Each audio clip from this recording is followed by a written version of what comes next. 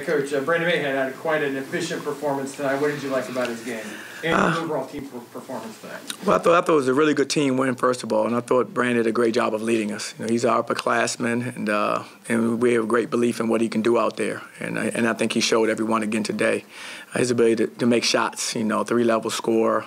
Uh, you know, he, uh, defensively, he's very active. He makes plays defensively with his hands, you know, whether steals or loose balls. I mean, he does a lot for us to help us win, and uh, I thought he had a really good game today. You have four guys with double figures in points, and you got points for Dre and CJ. Just talk about how you spread the offense. Well, that's what our offense is designed to do. Uh, you know, we don't really have a top-heavy offense. You know, we want our guys to all be involved. You know, we recruit these guys here because of their skill sets, and we think they all can contribute offensively for us. And it's good to see the balance that we had like today, and uh, we want that most nights. You know, where our offense is balanced between our post guys, our perimeter, uh, and everyone just trusting everyone to take the shots that they're capable of making. And I thought today was a good example of that.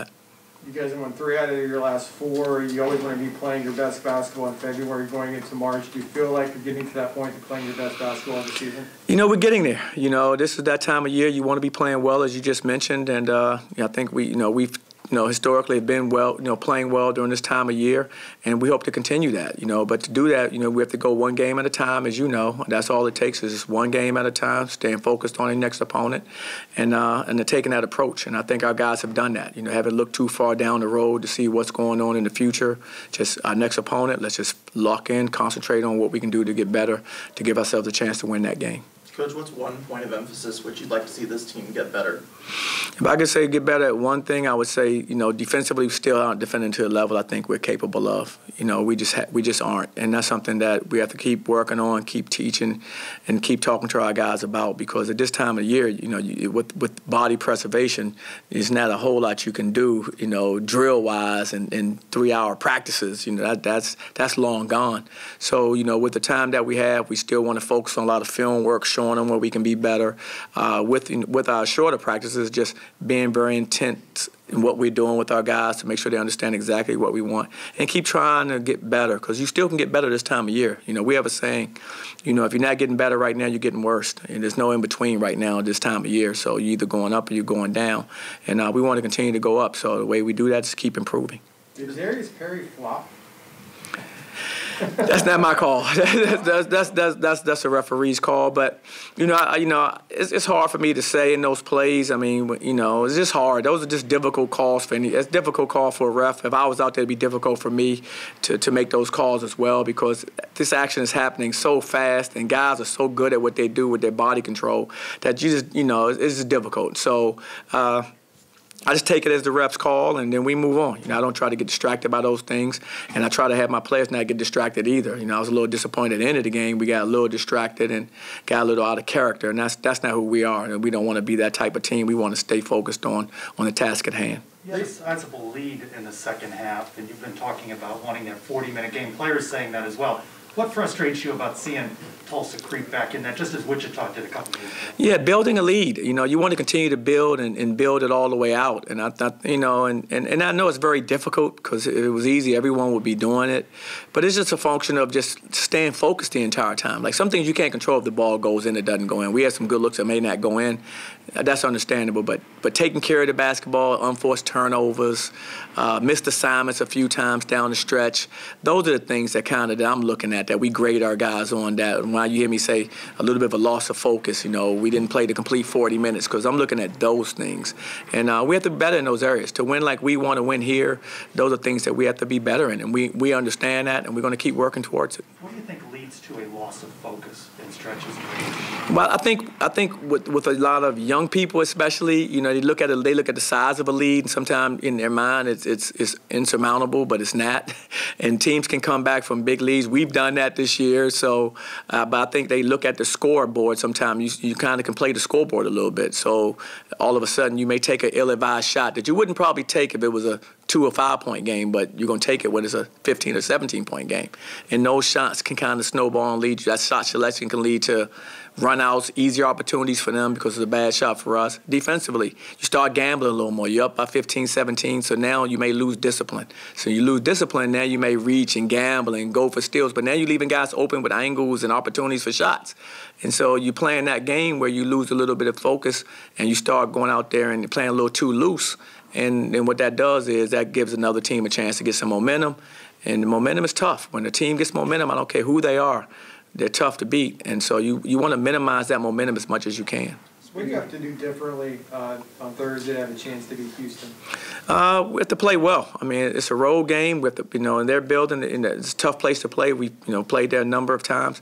We have to make sure we come in with a defensive mindset. You can't go into a game like that thinking about, you know, going 20 for 10 for 23 from for three. That would be great, but if you go in there with that type of mindset, that's the wrong focus. And to win on the road, you have to defend very well and you have to take care of the basketball. That gives you a chance to win.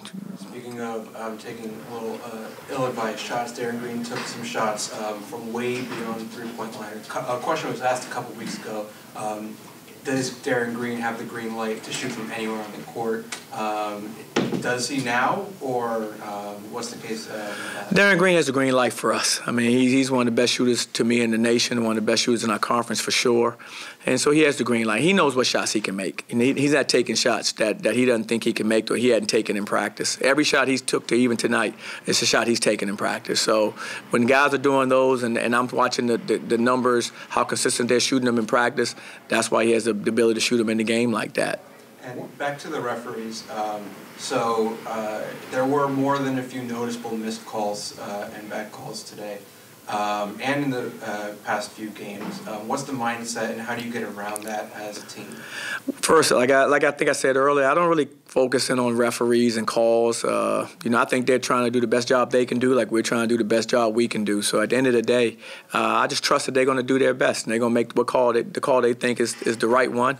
And I have no reason not to not to believe that. So I don't really get into, you know, I don't get distracted by those things. I just focus on our guys, our team, and, and what we have to do. You know, anything that, that goes on out there, win or lose, I don't think it has anything to do with the referees. It usually has to do with us as players and coaches. So, you know, we have to just continue to do our part and stay focused on, you know, what we can control. One of your former players, BJ Taylor, made his analyst debut tonight for ESPN Plus. Is that that cool to see?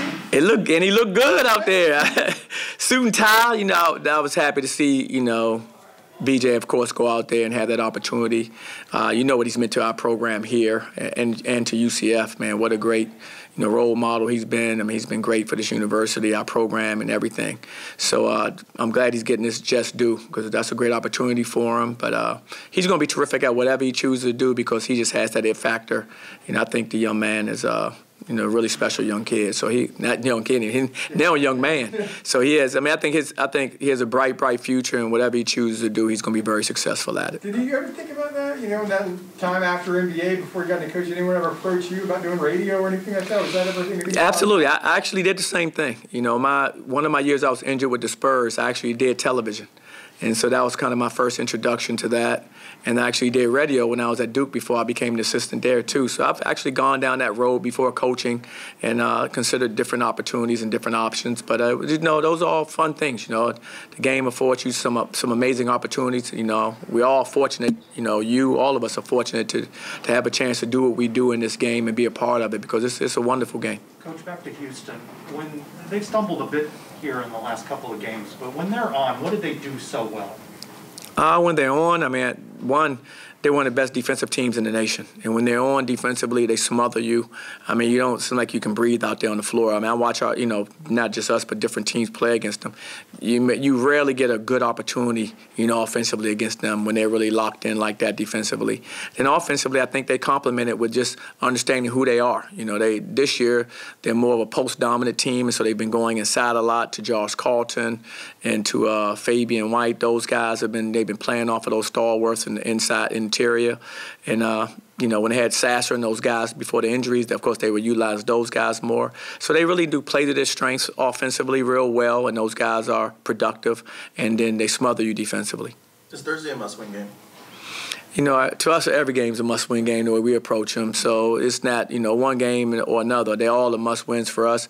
You know, we still have a lot to play for this this season, and, and, and we're happy to have the opportunities that we have in front of us, to be quite frank. When you look back at the Houston loss, you'd cut it close there in the second half, and then they pulled away. Some missed opportunities, though, for your team.